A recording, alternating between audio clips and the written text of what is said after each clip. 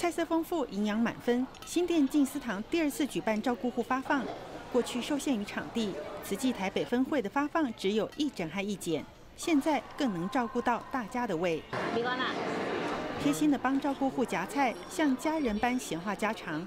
现在能自己吃饭的王先生，因为脑部中风，曾经是连提筷子都没力气。我们要帮他如何提升他的生活能力，而不是帮他到他自己的能力完全是丧失掉。其实他的生活自主之后，上来少担心的是一个家庭了。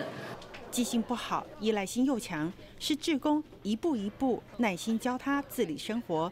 如今他在家里投入竹筒，最大心愿是也能助人。加油，加油！我我我做做大师兄，做师兄会怎么样？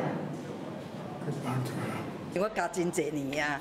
身手利落的帮照顾户剪发的是第一次来新店义剪的蔡丽美。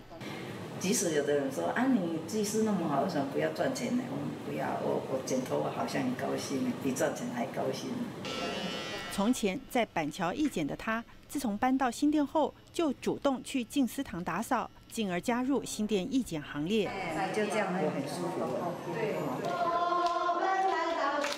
助人最乐，施比受更有福。大爱新闻真善美志工胡淑慧、吕佩玲台北报道。